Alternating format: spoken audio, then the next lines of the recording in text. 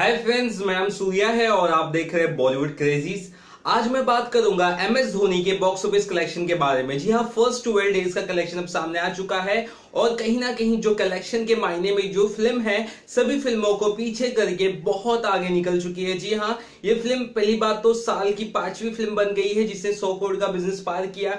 वहीं आंकड़ों की बात करें तो पहले वीकेंड में इस फ़िल्म ने 66 करोड़ कमाए और करीबन करीबन वीक खत्म होते होते फ़िल्म ने कुछ पचहत्तर से 80 करोड़ कमा लिए थे। उसके बाद सेकेंड वीक में भी इस फ़िल्म का बोलबला रहा जहाँ पे तीन फ़िल्में इसके साथ रिलीज़ हुई थी।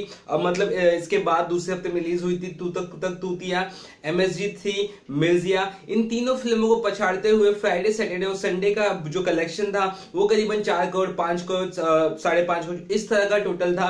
उसके बाद मंडे को इस फ़िल्म ने करीबन साढ़े तीन करोड़ के करीबन करीबन कमाए थे।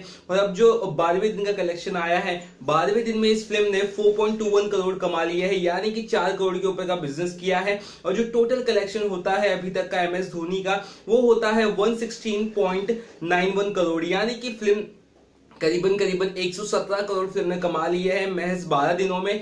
एक अच्छा टोटल है आज के टाइम में, जहाँ पे फ़िल्में ज़्यादा नहीं चल पा रही है। फ़िल्में रिलीज़ तो हो रही है, लेकिन एक दो हफ़्ता भी मुश्किल से टिक पा रही है सिनेमाघरों में। तो ऐसे माहौल में एम एस धोनी एक एक बहुत ही अच्छी फ़िल्म सामने निकल के आई है। ये फ़िल्म टैक्स फ्री कर दी गई झारखंड यूपी में। और इस वजह से भी फ़िल्म को देखने काफ़ी लोग गए। और लोगों ने जो जो लोगों ने फ़िल्म देखी है, सभी को ये फ़िल्म पसंद आई है। फ़िल्म का जो ड्यूरेशन था, ज़रूर तीन घंटे के ऊपर था, लेकिन फ़िल्म में जिस तरह से एक्टिंग की गई, जिस तरह से स्टोरी धोनी की, वो इतनी इंस्पायरिंग लगी, शायद किसी को भी फ़िल्म बोल नहीं लगी होगी थोड़ा बहुत अगर लगी होगी तो फिर भी फिर भी इस फ़िल्म से लोगों ने काफ़ी कुछ सीखा होगा। तो ओवरऑल ये फ़िल्म अच्छी है, एक करोड़ बारह दिन में, कोई बुरा टोटल नहीं है मतलब मैं तो कहूँगा बहुत अच्छा टोटल है, और इसके लिए तारीफ़ करनी होगी सुशांत सिंह राजपूत जिन्होंने एम एस धोनी का किरदार निभाया। करीबन करीबन डेढ़ से दो साल की मेहनत लगी है उनकी इस, रोल के लिए। और कहीं ना कहीं सचिन तेंदुलकर से जब पूछा गया एम एस धोनी के बारे में जब सुशांत सिंह का पूछा गया तो सचिन ने बोले कि मुझे लगा वो क्रिकेटर है।